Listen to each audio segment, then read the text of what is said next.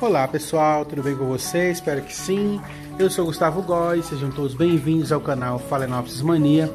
No vídeo de hoje vou aceitar um desafio aí da Railda do canal Railda e as Plantas. Canal maravilhoso que eu já falei para vocês passarem lá, se inscreverem, deixar o like nos vídeos lá.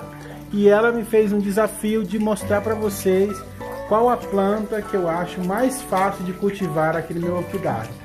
A planta que eu acho que é mais simples de cultivar e vou mostrar para vocês. Na verdade, não existe nenhuma que seja fácil, né? Nem as Phalaenopsis são. Algumas pessoas falam que são plantas para iniciante, mas não são. Elas parecem simples e fáceis, mas são plantas delicadas que precisam de adubação, de regas frequentes, de substrato bom, substrato drenado. Então, são plantas que requerem o nosso máximo cuidado aí. Então, a planta que eu escolhi para falar que é de mais fácil cultivo dentro do meu cultivo, como ela falou, são as mini phalaenopsis. Olha, mini phalaenopsis, eu amarro elas no tronquinho, são plantas bem resistentes e elas florescem mais tempo e duram mais as flores do que as phalaenopsis comum. Então, Toda vez que eu planto uma mini falenose ou micro falenose, elas não murcham, elas enraizam rápido, elas estão sempre com hastes florais, então estão sempre saindo hastes novas. Então, dentro do meu cultivo, eu já percebi que as mini falenopsis, mini micro falenopsis, são as plantas de mais fácil cultivo que eu tenho aqui no meu orquidário. Se eu esquecer de regar elas uma semana, elas continuam assim, ó, verdinhas. E elas aqui, ó, aqui uma que eu ganhei semana passada, super debilitada, mesmo assim já floresceu. Eu fiz o replante, já está saindo o, raízes novas. Então, assim, é, as microfalenopsis e mini falenopsis deixam um arranjo muito bonito. Olha, a semana passada já tem raízes ali, então deixa um, um, um arranjo muito bonito. Quando floresce é um mimo, né? Olha, quando florescem ficam maravilhosas no meu cultivo, são as que eu mais percebo que dá certo, enraizam rápido, que floresce o tempo inteiro. Então, é, são as plantas que eu acho que é de mais fácil cultivo.